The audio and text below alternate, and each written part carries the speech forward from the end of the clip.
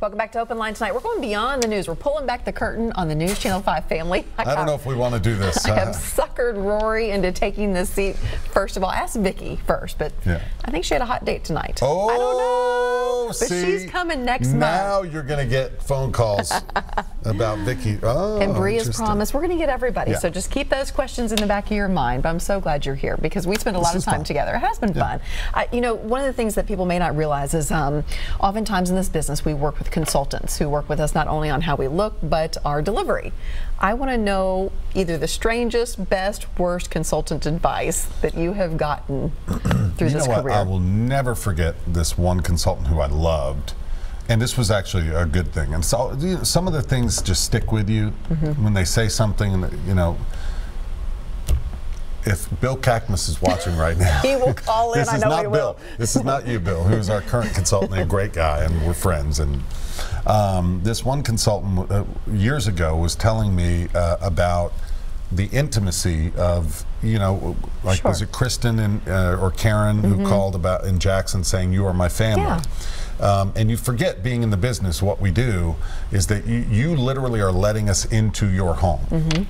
And there is an, an intimate connection that happens and it's why we have favorite newscasts and favorite shows. Stations, yes. Uh, because we get we feel a connection to the people, and after a while, there's a trust. Mm -hmm. It's like I want, we're going to trust you. Yeah. I'm going to trust you to give me information that I need. So.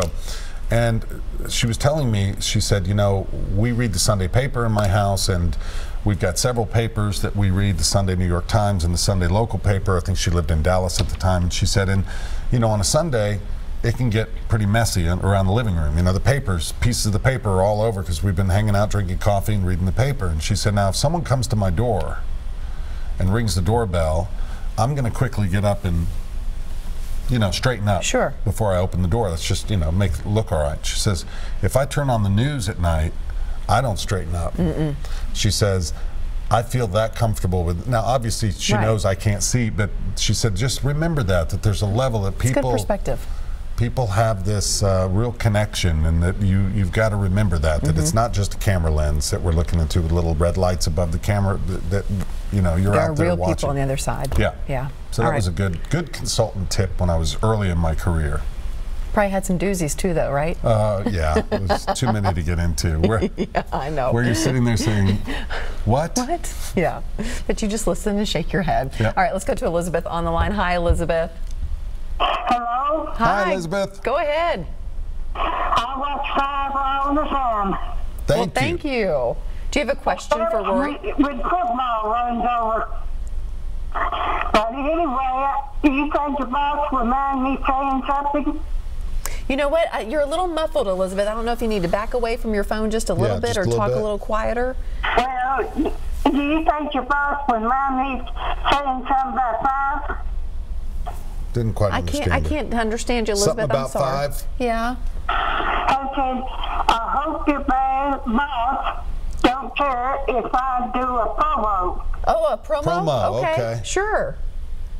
Be alive, Duff and John with Channel 5. oh.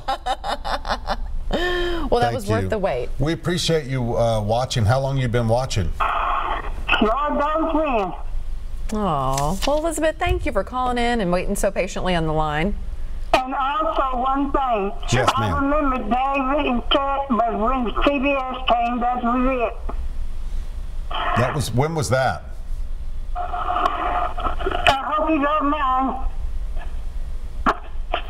Thank you. Okay, Elizabeth, thank you, thank you very much. We're going to jump to Phyllis on the line. Phyllis, good evening. Hi. Hi I hope I don't break too much. I'm no. kind of out of the area. It's all right. Okay. Hi, Phyllis. All right. Hi. Um, yes, I was just curious about Rhori's passions. Um, you see, uh, have a lot of passions.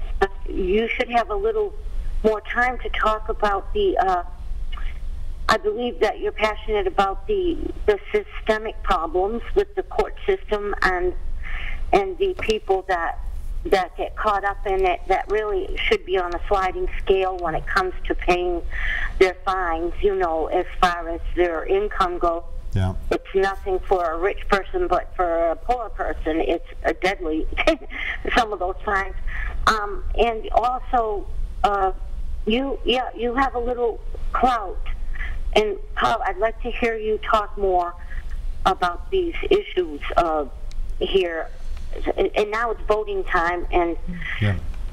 from Massachusetts, so not too too far from New Jersey, but um, I'm down. I'm kind of stuck down here in Tennessee, but I love watching your segment. Let's see, what else was I going to say? Phyllis, real quick on that issue, that specific issue, you know, be sure to send us an email um, and kind of outline some of your thoughts so that we can take a look at it. And we, we you know, we do look at these emails and we discuss whether we've already done stories there or whether we need to follow up, whether we whether it's a, a story for investigates or whatever. But we do discuss them, and you know, a, a, lot, a good portion of our stories come from Yeah. viewers writing in and saying, "Hey, I don't know if you know about this, but," and This then is an explaining a situation that, that maybe we're not totally aware of. I can't promise you, I- you know, I- a, I'd like a you- full, but you send it, send us an email, please do. I, I like your person that you're sitting tight. All right, bye-bye.